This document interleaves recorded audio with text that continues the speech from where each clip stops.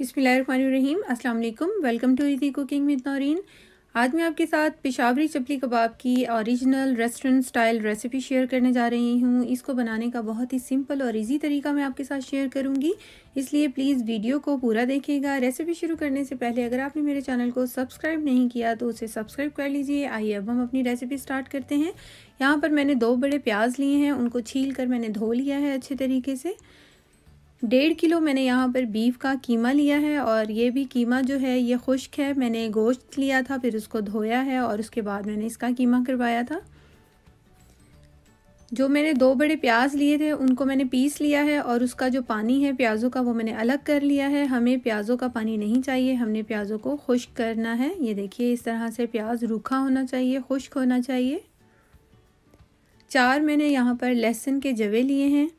और तीन इंच का मैंने अदरक का टुकड़ा लिया है।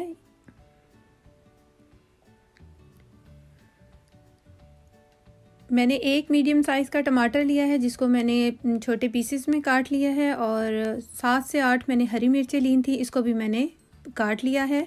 वन टीस्पून यहाँ पर सफ़ेद ज़ीरा लिया है।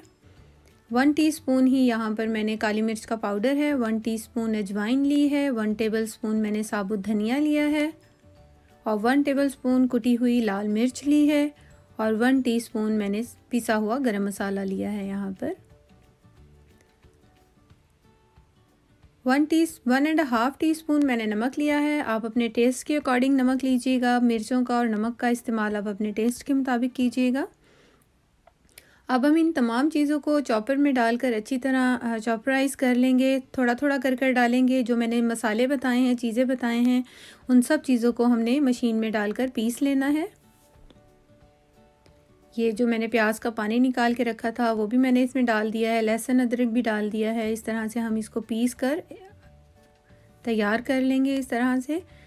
अब जो हमने नेक्स्ट स्टेप करना है, वो बहुत ही इंपॉर्टेंट है। ये यहाँ से हमने अपने हाथ की ये वाली जो हथेली का हिस्सा होता है, इससे कीमे को बहुत अच्छे तरीके से हमने मलना है। स्टेप बाय स्टेप हम चीज़ें डालते जाएँगे और इसको मलते जाएँगे। यहाँ पर मैंने चार टेबल स्पून मकई का आटा लिया है। इसको हम कीमे में ऐड करेंगे। नमक मैंने उस टाइम नहीं डाला था। नमक हम अब डालेंगे। One and half teaspoon है ये और वन टेबल स्पून मैंने यहाँ पर कुटा हुआ और भुना हुआ ज़ीरा ऐड किया है। टू टेबलस्पून मैं यहाँ पर लेमन जूस डाल रही हूँ। आप चाहें तो अनारदाना भी डाल सकते हैं। मैंने यहाँ पर लेमन जूस का इस्तेमाल किया है। अच्छी तरह हम हम इन तमाम चीज़ों को कीमे के अंदर मिक्स करेंगे, मलेंगे इस तरह से। हमारा ये अमल कीमे को मलने वाला बहुत ज़रूरी है। और टू टेबलस्पून मैंने यहाँ पर देसी घी लिया है, जिसको अब हम ऐड कर देंगे कीमे में। जब मकई का आटा वगैरह अच्छी तरह मिक्स हो जाएगा, उसके बाद हमने ये घी इस्तेमाल करना है। आप चाहें तो कोई सा भी घी यूज़ कर सकते हैं या आप ऑयल डाल सकते हैं। घी डालने, ये घी इस्तेमाल करना है। आप चाहें तो कोई सा भी घी यूज़ कर सकते हैं या आप ऑयल डाल सकते हैं। घी डालने से ज़रा थोड़ा जायका बहुत अच्छा आ जाता है, इसलिए मैं घी डाल रही हूँ। और आपके साथ बिल्कुल ओरिजिनल रेसिपी शेयर कर रही हूँ मैं। इस तरह से आपने इसको मलना है। जब आप मलेंगे तो इस तरीके से इसके अंदर एक लेस पैदा होगी, एक चिपक पैदा होगी, एक पकड़ पैदा होगी।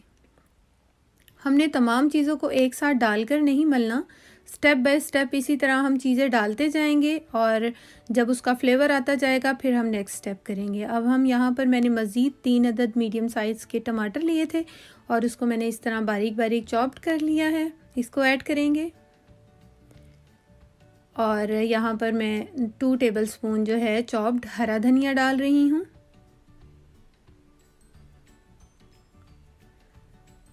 शनवारी डिशेस में या पेशावरी डिशेस में टमाटरों का इस्तेमाल बहुत होता है और जो टमाटर होते हैं वो एक ख़ास जायका रखते हैं इनके खानों में। और ये स्पेशल होते हैं चपली कबाब के लिए। चपली कबाब में टमाटरों का इस्तेमाल ये लोग बहुत अच्छे तरीके से करते हैं और बहुत अच्छा जायका और फ्लेवर आता है इससे। अब हम इन टमाटर को भी बहुत अच्छे तरीके से कीमे के अंदर मल लेंगे इस तरह से। देखिए, मैंने कोई भी चीज़ एक साथ नहीं डालकर सारी चीज़ों को मैंने पीसा नहीं है या फिर मैंने इसको, जो पीसने वाली चीज़ें थी, वो मैंने पहले बता दी थी, उनको पीस लेंगे और जो, जिनको हमने नहीं पीसना, जिनको इस तरह से बार बार स्टेप बाय स्टेप डाल डाल कर हमने मलना है, वो मैं आपको साथ साथ बता रही हूँ। ये ओरिजिनल रेसिपी मैं आपके साथ शेयर कर रही हूँ। ये मलने का, कीमे को मलने का अमल तकरीबन 20 से 25 मिनट का होगा। और ये आपका जो पिशावरी चपली कबाब है, वो बिल्कुल रेस्टोरेंट स्टाइल जैसा तैयार होगा, जैसा कि आप बाहर खाते हैं और हम वैसा ही घर में बनाकर तैयार करेंगे। ये देखिए, इसकी पकड़ इतनी अच्छी हो गई है कि जब मेरे हाथ से भी ये चिपक रहा है और गिर नहीं रहा। ये देखिए। ये पकड़ आनी चाहिए तो ये हमारा कीमा रेडी हो गया है। इसको हम रख देंगे थोड़ी देर के लिए, आधे घंटे के लिए मैं इसको ढक कर फ्रिज में रख दूँगी। आप चाहें तो इसको ज़्यादा देर के लिए भी रख सकते हैं। अब यहाँ पर हम चपली कबाब के साथ सर्व होने वाली चटनी बना लेते हैं। हाफ़ बंच मैंने धनिए का लिया है, हाफ़ बंच ही पुदीने का लिया है मैंने और यहाँ पर छः से सात मैं हरी मिर्ची डालूँगी अब। ये छः से सात हरी मिर्चें ली हैं, इसको हम ऐड करेंगे। दो लहसुन के जवे हैं, जिनको मैंने दरमियान में से इस तरह से काट लिया था। हाफ़ टी स्पून यहाँ पर मैं ज़ीरा ऐड कर रही हूँ, सफ़ेद ज़ीरा। और हाफ़ टी स्पून ही मैंने नमक डाला है और तकरीबन 250 ग्राम मैं यहाँ पर दही ऐड कर रही हूँ। थोड़ा सा दही में मैंने पानी भी ऐड कर लिया है। अच्छी तरह से हम इसको पीस लेंगे और ये हमारी चपली कबाब के साथ खाने वाला जो रायता है वो तैयार हो जाएगा ग्रीन चटनी। यहाँ पर हम एक पैन लेंगे और इसके अंदर घी डाल देंगे। आधा घंटा हो चुका है फ्रिज में रखे हुए कीमे को। तो अब हम इसके चपली कबाब बनाना स्टार्ट करते हैं। यहाँ पर मैंने थोड़ा सा ऑयल लिया है और, या, और टमाटरों को मैंने स्लाइस में काट लिया है। ऑयल से हम अपने हाथ ग्रीस करेंगे। थोड़ा सा पोर्शन उठाएँगे कीमे का इस तरह से और एक स्लाइस जो है इसके ऊपर रखेंगे और उसको हम दबा कर इस तरह से कबाब की शेप दे लेंगे। कोई भी रैंडमली कोई भी शेप आ जाए चपली कबाब की इस तरह से मैंने सारे कबाब बना कर रख लिए हैं। इस स्टेज पर आप इनको फ्रीज़ भी कर सकते हैं। हाफ़ डन करके भी फ्रीज़ हो सकता है। अब हम टमाटर वाली साइड जो है वो हम तवे पे के नीचे रखेंगे इस तरह से। और हम इस तरह से इसे डालते जाएँगे फ्राई करते जाएँगे। जितना हमारे पेन पैन में स्पेस होगी, हम उतने ही डालेंगे। और तकरीबन दो से तीन मिनट के बाद हमने इसकी साइड चेंज करनी है ताकि ये दूसरी तरफ़ से भी अच्छी तरह पक जाए। इसको हमने तकरीबन चार से पाँच मिनट देने हैं फुल डन करने के लिए।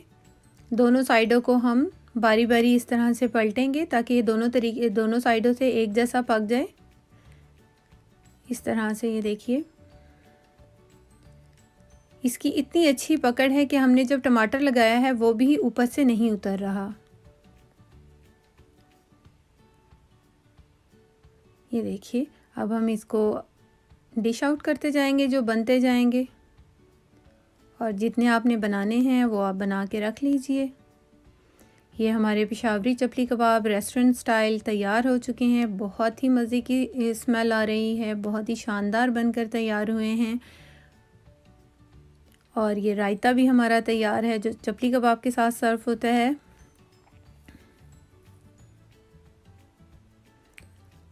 होपफुली आपको मेरी ये रेसिपी अच्छी लगी होगी। बहुत इजी तरीके से मैंने आपको समझाने की कोशिश की है, आपके साथ शेयर करने की कोशिश की है कि आपको बहुत इजी तरीके से समझ आ जाए। ये बकराइद स्पेशल है, आप बकराइद आ रही है, आप उस पर बनाएँ और मज़े लेकर खाएँ।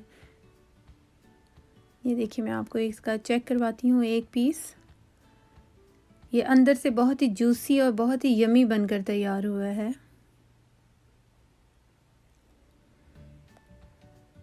ये देखिए, ये इसका जो हमने दही तैयार किया है, चटनी, ग्रीन चटनी, दही वाली जो होती है,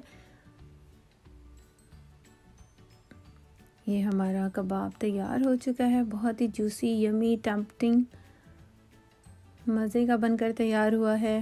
होपफुली आपको मेरी ये रेसिपी ज़रूर पसंद आई होगी। रेसिपी देखने के लिए बहुत बहुत शुक्रिया। थैंक्स फॉर वॉचिंग अल्लाह हाफिज़।